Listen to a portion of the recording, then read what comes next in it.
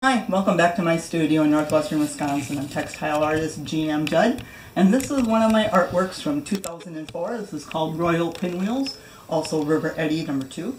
And this piece is based off of the pinwheel pattern that, we remember the pinwheels we used to play with as children. This piece is 28 inches by 28 inches.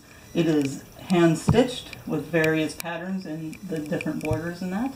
And this piece is available online at Amazon Handmade. You can visit to learn more about my art processes and my other artworks, and that is at www.jeanjudd.com.